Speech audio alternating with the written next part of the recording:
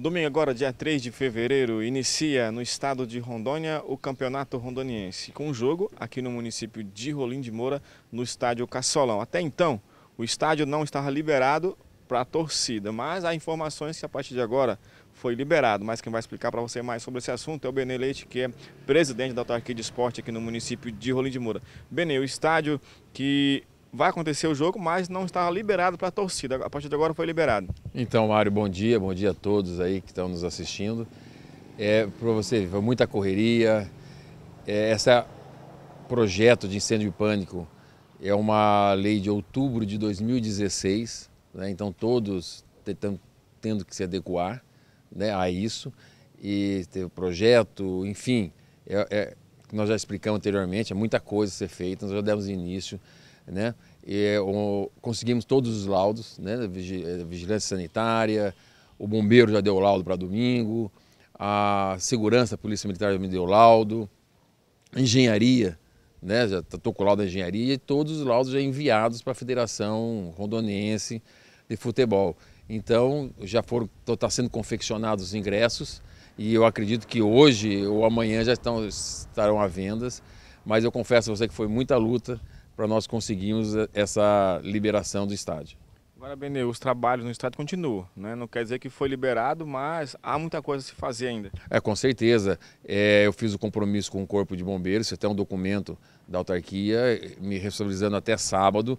Tá todos os extintores de incêndios colocados, com as placas é, de sinalização, né, sinalizações. A um lado da arquibancada, já com todas as escadas prontas, as, os portões de emergência que são três portões grandes de emergência ali de frente para a arquibancada, também estarão prontos.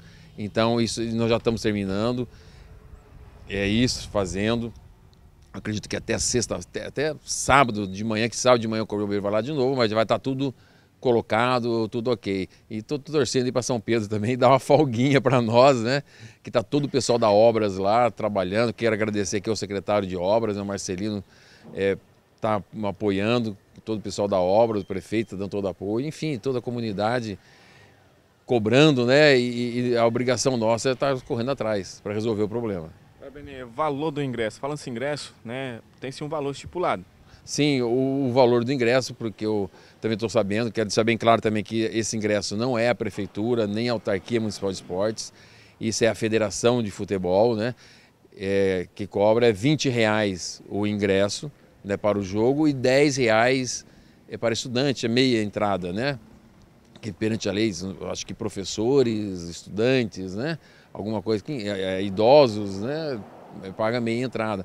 O jogo vai ser um grande jogo, abertura aí do, do campeonato estadual contra o Vilhenense.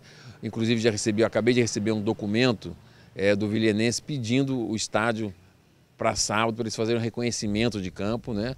Então, sábado, eles pediram das 16h30 às 15h30, às 16h30 às 17h30, pediram estar para reconhecimento, se os jogadores conhecerem o gramado, né? Então significa para você ter, já vão vir todos para cá, ficarem em Rolim de Moura, hotel em Rolim de Moura, janta, né? vão passar aqui. Então vai ser um grande jogo e convidar todos aí a estarem participando desse grande evento.